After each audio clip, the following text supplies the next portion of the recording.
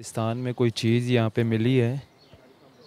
यहाँ पे कारी साहब भी मौजूद है और मुझे लग रहा है कि इस कब्रिस्तान में ये कपड़े के अंदर कोई लाश है, कोई बच्चे की और किसी ने ज़ाया कर दी है, फेंक दी है इस लाश को। अब इसको खोला जा रहा है और लग रहा है कि इसमें कोई बच्चा है। अब देखेंगे, कारी साहब भी हमारे साथ मौजूद है। अब इस कपड़े में क्या है? कारी साहब खोल रहे हैं इसको। इस लाश, ये कुछ कह नहीं सकते कि इसके अंदर क्या हो सकता है। या तो लाश हो सकती है या तो कुछ हो सकता है। शुएब शुएब, इधर आ, इस साइड पे आ। इधर आके दिखा, इधर मेरी वाली साइड पे आ जा ज़रा। स्मेल आ रही है, जम चुका है ये मेरा ख्याल है कपड़े के अंदर। और ये कब्रिस्तान में लगता है कुछ फेंक दिया गया है ऐसे। अगर ये बच्चे की लाश होगी तो फिर इसको दफनाया जाएगा इधर ही, क्योंकि आज हम रिकॉर्डिंग करने आए थे कब्रिस्तान में।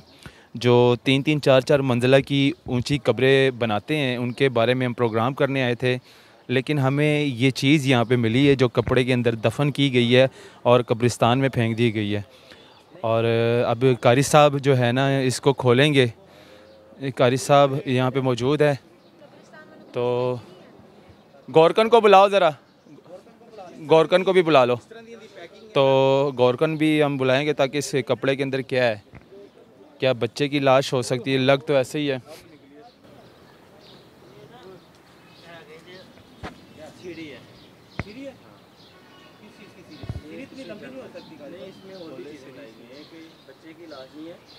हम्म।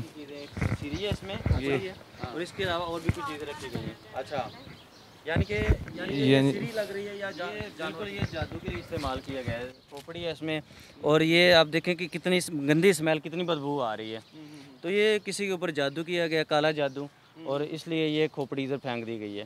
तो हम इसका मुझे तो ये इसको निकाल देंगे इंशाल्लाह अभी इसका असर मुझे तो ये किसी बच्चे की लाश अभी इंशाल्लाह इसको निकाल देते हैं देख लेते हैं अच्छी तरह देख लेते हैं क्या चीज़ है इसमें। चले देखते हैं। कपड़े में अगर ये सीरी होती ना या कोई और चीज़ें होती तो ऐसे कपड़े में नहीं वलेटी जाए।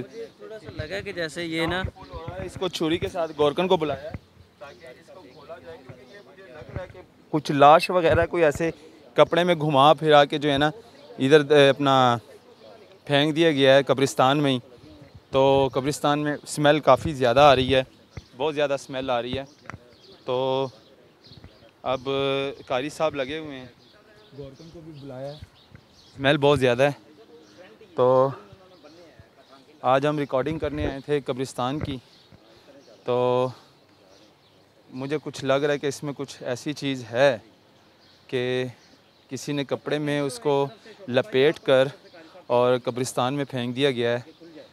क्योंकि ज़्यादातर ऐसे हमने पहले भी वाक़यात देखे हैं जो कि बच्चों की लाशें मिल जाती हैं।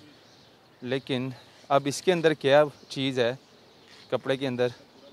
ये का, कारी साहब जो है इसको खोल रहे हैं खोलने की पूरी कोशिश कर रहे हैं। मुझे लग रहा है कि ये कोई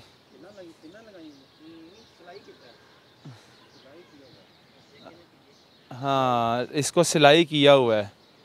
इसको सिलाई किया हुआ है कपड़े को। या तो कोई चीज़ हाँ ये जानवर बिल्ली शिली है ये कुछ।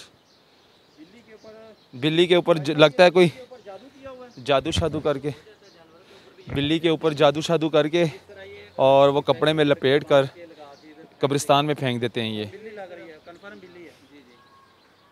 तो जानवरों के ऊपर भी करते हैं अमूमन लोगों ने घरों में रखी होती है। ठीक है। तो इस तरह करते हैं कि वो उसको किसी तरीके से पकड़ते हैं और उसके ऊपर करके उसको मार के बाहर फेंक देते हैं।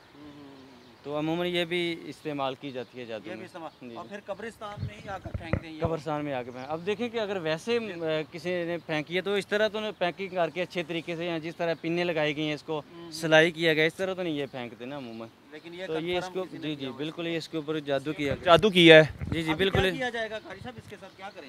हम इंशाल्लाह इसका पढ़ाई बढ़ के इसको जायल कर देंगे उसके बाद इसको खोल के फेंक देंगे इंशाल्लाह इसका असर जायल हो जाएगा। तो ये कोई जानवर बिल्ली शिली है? इस पे जादू शादू किया बिल्कुल ये जानवर जादू के लिए इस्तेमाल किया गया ये ना। कपड़े में लपेट कर इसको सिलाई भी। क्योंकि सिलाई किया गया पिन्ने अब अगर वैसे बिल्ली मार गई है तो इस तरह सिलाई करके तो कोई नहीं फेंकता और जिस तरह पिन्ने लगाई गई हैं। और इस कन्फर्म जादू। अमूमन जी जी इसके अंदर अमूमन ये तवीज़ भी होंगे या कोई सुइया वगैरह भी लगाई गई होंगी। लेकिन ये बदबू इतनी और इस तरीके से इसको पैंक बांधा गया कि ये अभी खोलना मुश्किल है।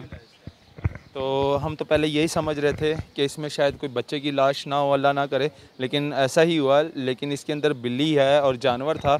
और कारी साहब ने यही बोला है कि ऐसे जो है ना, बिल्ली के ऊपर जादू करके, उसको मार के और कपड़े में लपेट कर जो है ना, कब्रिस्तान में फेंक दिया जाता है। उसके अंदर तवीज़ भी होंगे, कोई सुइयाँ वगैरह भी लगी होंगी, लेकिन उसको खोला नहीं जा रहा, क्योंकि कपड़े को सिलाई की गई है।